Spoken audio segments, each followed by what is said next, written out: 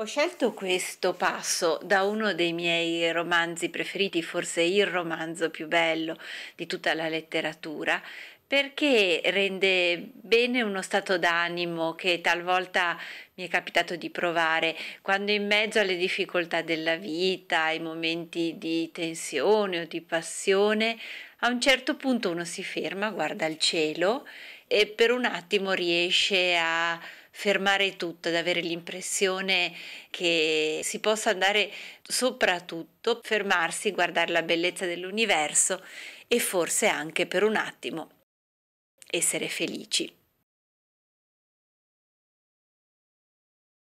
Mi chiamo Francesca Tasso e ho scelto questo brano da Guerra e Pace.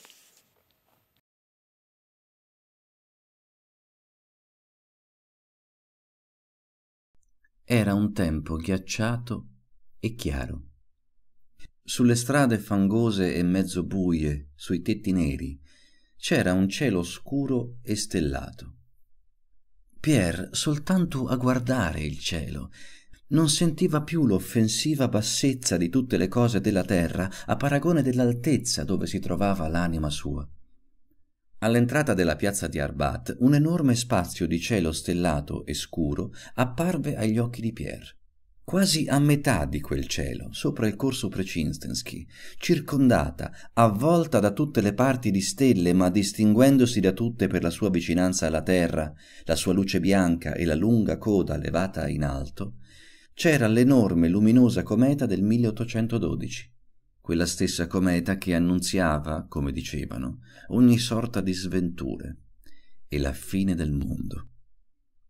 Ma in Pierre, quella splendida stella con la sua lunga coda raggiante, non risvegliava nessun senso di paura.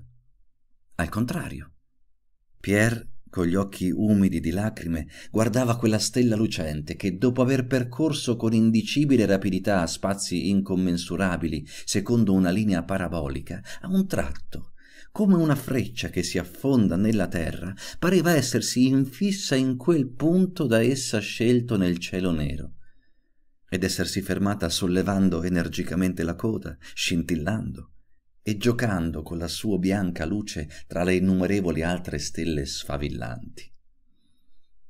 A Pier parve che quella stella rispondesse pienamente a ciò che era nella sua anima, raddolcita e fortificata, che si schiudeva a una nuova vita.